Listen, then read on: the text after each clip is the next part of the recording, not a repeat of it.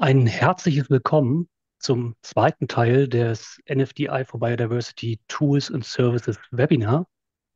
Und wie auch beim letzten Mal wollen wir in dieser Webinarreihe die Funktionen, die Anwendungsmöglichkeiten, aber natürlich auch die Vorteile der NFDI for Biodiversity Tools und Services beleuchten. Und nachdem wir uns ja beim letzten Mal vor allen Dingen auf den Terminology Service konzentriert haben, geht es heute um das Datenmanagement Tool Bexis 2.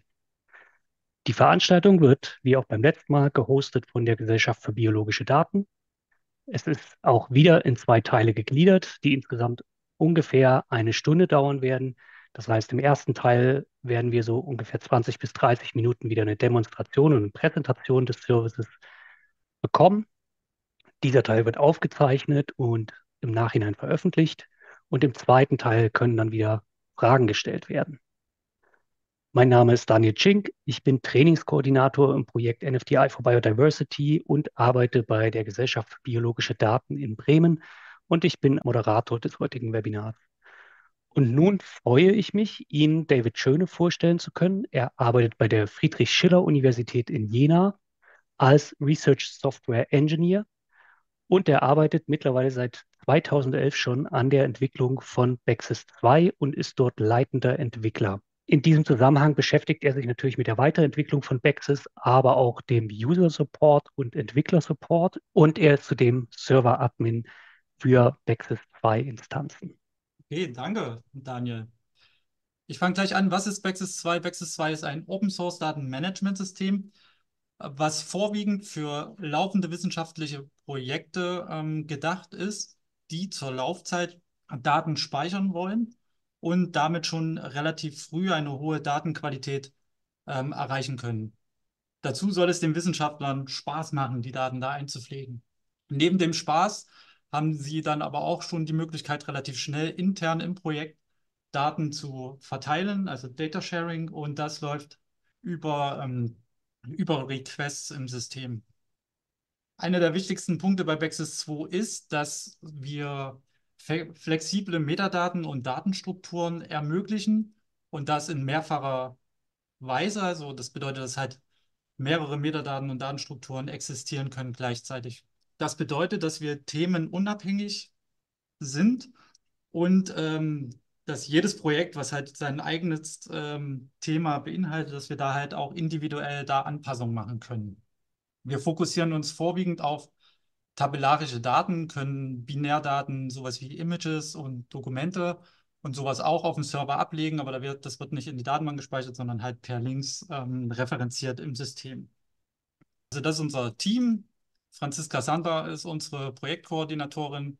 Sie fängt alle ja, Feature-Requests und Wünsche und Dinge ab, versucht das ein bisschen ja, zu koordinieren und das, die Aufgaben kriegen dann wir, also Sven Thiel und ich, David Schöne. Ähm, genau, wir sind dann die. Ähm, wir haben das Glück, auch ab und zu aus unterschiedlichen Projekten ähm, Entwickler äh, bei uns kurzzeitig äh, ja, nutzen zu können. Das war im Sp Versionssprung von 2 auf 3 so. Da haben wir aus Aquadiva und von Microverse Support von ähm, Hamdi Hamed und Martin Humut bekommen. Das sind aktuell die Instanzen, die in irgendeiner Weise Vexis 2 nutzen. Einige sind noch im Aufbau und einige halt auch im Rahmen von NFDI for Biodiversity, weil wir dort halt den Service anbieten, auch für die Projekte virtuelle Maschinen aufzusetzen, ähm, Vexis 2 zu installieren und im Gespräch herauszufinden, welche Metadaten wichtig sind und ähm, wie, die, wie am besten die Vorbereitung ist, um Daten dann halt zu anderen Repositorien zu veröffentlichen. Wenn ich äh, jetzt demnächst auf die Funktion von Bexis 2 eingehe, möchte ich kurz nochmal das erwähnen, dass wir halt im, in unserem System etwas speichern, das heißt Dataset und das ist etwas, was mit Metadaten und Daten zu tun hat. Die Metadaten beschreiben die Daten, die Wissenschaft, also die gemessen wurden, ein bisschen genauer. Es gibt Metadatenstrukturen, die die Struktur der Metadaten beschreibt und mit gewissen Regeln irgendwie ähm, sicherstellt, dass die Inhalte aus den Metadaten valide sind. Und genauso ist es auf der Data Structure Seite. Also mit verschiedenen Regeln können wir im System garantieren, dass die Daten ähm, valide sind. Wenn wir über Funktionen reden, unterteilen wir das gerne in zwei Bereiche. Und zwar einmal die Wissenschaftlerinnen ähm, auf der einen Seite und auf der anderen Seite die etwas technischer versierteren Personen, die entweder Datenmanager oder Administratoren sind. Ähm, ich fange jetzt mit den Endnutzer-Features an und da ist, also ein Feature ist, dass wir Datenstrukturen im System erstellen können, das durch das Importieren einer Datei oder ähm, durch das direkte Anlegen in dem System. Dabei haben wir verschiedenste Punkte, die uns wichtig sind im System. Und zwar, das ist einmal die Variablendefinition. Äh, wir können Units anlegen. Wir können Regeln, also Constraints, auf die Variablen setzen, wie zum Beispiel eine Domain Constraint List. Das heißt, wir haben, sagen wir, zehn Werte und wenn in der Datei halt äh, einer dieser Werte ähm, vorhanden ist, dann ist die Zelle valide, ansonsten nicht. Ähm, wir nutzen, also wir können mit Missing Values arbeiten und neu ist ein semantischer Teil, das sind die Meanings und die External Links. Damit ermöglichen wir zusätzlich, wie hier in dem Beispiel rechts, ähm, bei der Variable Kingdom noch zusätzlich die Bedeutung hinzuzufügen, dass es sich um einen taxonomischen Rang handelt, beziehungsweise auch direkt Kingdom direkt taggen. Und das verweist wiederum auf externe Ressourcen, wie zum Beispiel hier Darwin Core, die Darwin Core Terms. Okay. So, wenn wir Daten hochladen wollen, können wir das, ähm, können wir das starten, indem wir am Anfang eine Data Structure anlegen, aber wir können auch direkt mit der Datei anfangen. Ist egal, wie man es macht. Letztendlich werden die Daten validiert und es gibt hier, wie auf dieser Seite, jetzt zum Beispiel hier in dem grünen Bereich, die Information, okay, äh, es gibt also verschiedene Validierungsschritte, die durchgegangen werden müssen, damit die Dateien valide sind. Und das definiert man wie hier auf der rechten Seite anhand ähm, der Datenstrukturdefinition. Genau, wenn die Daten dann einmal im System sind, dann müssen die auch irgendwie gefunden werden und das machen wir durch eine Suche. Alle Datensätze, die erzeugt werden, haben Metadaten und die Metadaten werden in einem Index bereitgestellt und in der Suche äh, zur Verfügung gestellt. Das heißt, die Nutzer, die registriert sind, können dann die Daten, Datasets finden, können dann aber nicht auf die Daten zugreifen, weil die dann erstmal vorläufig geschützt sind. Wenn jemand aber die Daten interessiert, kann man über einen Request einen anderen Nutzer sagen, hey, dein Datensatz ist super schick, den brauche ich für meine wissenschaftlichen Aufgaben, könnte ich da vielleicht mal reingucken? Und ähm, dann kann der Creator, der Owner, kann entscheiden, ob derjenige das machen darf. Und dann haben wir hier so vier verschiedene Regeln. Lesen, schreiben, löschen und selber ähm, Rechte hinzufügen. Jedes Mal, wenn wir Metadaten oder Daten oder generell irgendwas an dem Datensatz ändern, wird eine neue Version erstellt. Und das heißt, man kann zu jedem Zeitpunkt zu einer gewissen Version zurückspringen. Wir ermöglichen auch das Runterladen des aktuellen Stands in den jeweiligen Versionen. Hier in dem Beispiel hat man als erstes Metadaten kreiert, dann hat man ähm, 320 Zeilen hochgeladen, dann nochmal was editiert. Jeder Zeitpunkt, jeden Zeitpunkt kann man zurückspringen und dann eine Version herunterladen. Wir haben auch die Möglichkeit, die Daten, die einmal im System sind, für externe äh, Provider vorzubereiten. Das heißt, wir haben jetzt in der aktuellen Version die Möglichkeit, ein Darwin Core Archive ZIP für GBIF vorzubereiten. Wir können auch die Daten intern freigeben und auch über eine äh, DOI-Vergabestelle wie DataSite können wir äh, DOIs requesten und dann hat man halt auch quasi eine DOI für den Datensatz. Es gibt auch was, das ähm, entwickelt wurde für G, äh, GFBio, also dass wir für, Pan, äh, für Pangea und den Museen was vorbereitet haben. Das ähm, ist auch noch möglich. Genau, das ist auch noch möglich. Punkt.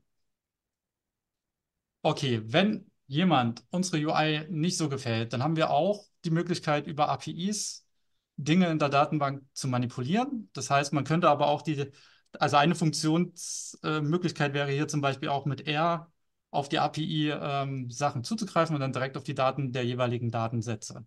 Eine ganz große Liste, man kann ganz viel damit machen.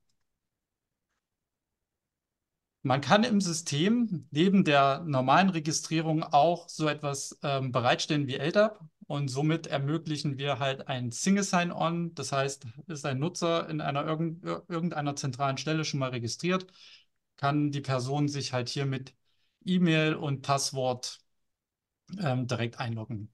So. Kommen wir jetzt zu den Datenmanager- bzw. Administrationsmöglichkeiten, weil wir versuchen auf der einen Seite ja den, den Wissenschaftlerinnen ähm, das so einfach wie möglich zu machen und bei einem so komplexen System wie Bexis 2 muss halt jemand das irgendwie konfigurieren. Und da kommen wir jetzt zu diesen paar Punkten.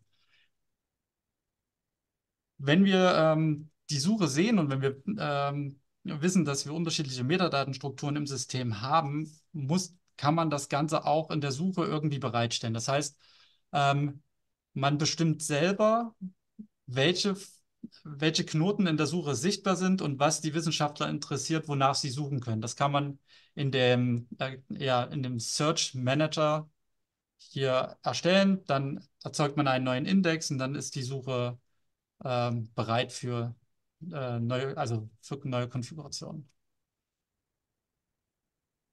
Wie ich vorhin erwähnt habe, gibt es die Möglichkeit, ähm, unterschiedliche Metadatenstrukturen zu benutzen. Also im generellen Fall ist es ja so, dass die Metadatenstrukturen, also alle Metadatenstandards basieren ja irgendwie auf XML und demzufolge auch auf dem Regelwerk äh, XSD. Also XSD ist ja das Regelwerk für eine XML, um zu garantieren, dass die valide ist oder nicht. In unserem System ist es möglich, XSDs zu importieren und basierend daraufhin erstellen wir eine Metadatenstruktur mit den Regeln, die in der XSD festgelegt sind. Also sind dort Constraints, sind da Sachen drin, wie das ist ein Pflichtfeld, das muss eine Zahl sein, das ist ein Datum oder so, das wird im System gespeichert und genau so wird dann das Formular auch dementsprechend aufgebaut. Und um das Ganze wieder nach draußen hin vorzubereiten, gibt es in dem System ein Mapping-Bereich, wo man einzelne Felder von unseren Metadatenstrukturen zu anderen Konzepten, wie zum Beispiel die Vorbereitung für das Darwin Core Archive, wo dann Felder gemappt werden können. Okay, wir haben einige ähm, Notifications, die aus dem System rausgehen. Das ist vorwiegend, ist das für die Nutzer ähm, und die ja, und der, den Admin, der quasi die dann halt prüfen können, okay, es wurde jetzt ein Datensatz erstellt, ähm, jemand hat eine Anfrage an mich gestellt, wie hier in dem Beispiel ein Data Request wurde erstellt für einen gewissen Datensatz, hier steht eine Intention.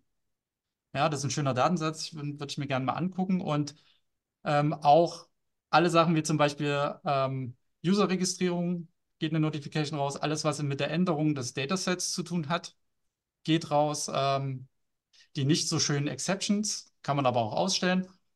Ähm, und Requests, genau, das habe ich schon erwähnt. So. Neben den Data Permissions, also den Rechten auf Datensätze, gibt es auch sehr viele Funktionen im System, die teilweise ein bisschen sortiert werden müssen nach administrativen Funktionen und Endnutzerfunktionen. Und das Ganze ist in, ähm, auf dieser Seite halt abgelegt und man kann im System Gruppen und User definieren und User-Gruppen zuweisen und dann die jeweiligen Funktionen den einzelnen Use, Usern oder Gruppen zuweisen. Das bedeutet, das Beispiel mit Data Structure. In einem System könnte es eventuell sinnvoll sein, dass die Wissenschaftlerinnen selber die Data Structures erstellen können. In einem anderen System sagen na, aber die Data Manager zum Beispiel, okay, ich habe jetzt hier drei Datenstrukturen, die reichen mir mehr sollen, sollen die gar nicht bauen. Und das heißt, man würde die Funktion halt äh, den, den Nutzern vorenthalten und man hat halt nur die Auswahl beim Kreieren der Data Structures, äh, der Datasets auf die Data Structures, die im System vorhanden sind. Genau. Ähm, unser Bexis 2 ist modular aufgebaut und es gibt sehr viele unterschiedliche Module, die noch dazu entwickelt wurden. Ähm, ich konnte die jetzt hier nicht alle auflisten. Teilweise von den äh, Teile von den Modu Modulen sind auch intern genutzt, aber da macht es natürlich Sinn, sich halt dann eventuell mit den Projekten selber mal ein bisschen in Kontakt zu setzen und man könnte die eventuell nutzen. Hier ist ein Link auf unserer Seite, Software und Modules. Da ist eine Liste mit all den ähm, Modulen, die in irgendeiner Art und Weise schon mal gemacht wurden. Genau, und jetzt ähm, möchte ich über das Party Package reden. Genau, wir haben in unserem System haben wir die Möglichkeit, unterschiedliche Partys zu definieren und eine Party ist zum Beispiel eine Person mit unterschiedlichen Attributen, wie hier jetzt zum Beispiel aufgelistet. Das Ganze ist frei konfigurierbar, also ob die Person jetzt so viele Werte hat oder ob man zum Beispiel das Fax nicht mehr braucht oder die Mobiltelefonnummer, das kann eingestellt werden und genauso gut kann man Organisation, Institut, Projekt und Gruppen kann man auch individuell erstellen, beziehungsweise auch neue Typen erstellen mit unterschiedlichen Parametern. Und das ist etwas, was der Datenmanager zum Beispiel gut vorbereiten kann. Und was dann der Vorteil davon ist, ist zum einen, dass man halt so eine Art äh, organisatorische Struktur halt irgendwie aufbauen kann. Aber was noch viel cooler ist, ist, dass man in den Metadaten anfangen kann, Dinge ähm, mit einem Autocomplete zu supporten. Das heißt zum Beispiel hier in dem Fall gibt es die Person Max Mustermann. Und wenn man jetzt hier in den Metadaten äh, Max einfach nur eingibt, dann kriegt man eine Liste von allen, die Max heißen, wahrscheinlich jetzt hier in dem System nur ein. Dann wählt man den aus und dann alle Sachen, die halt auf den, die dort zur Verfügung stehen, werden in den Feldern ähm, eingetragen. Das bedeutet, man, können, man kann halt mit Hilfe dieser Partys ähm, die Metadateneingabe, die oft manchmal sehr langwierig ist, ein bisschen ähm, verschönern.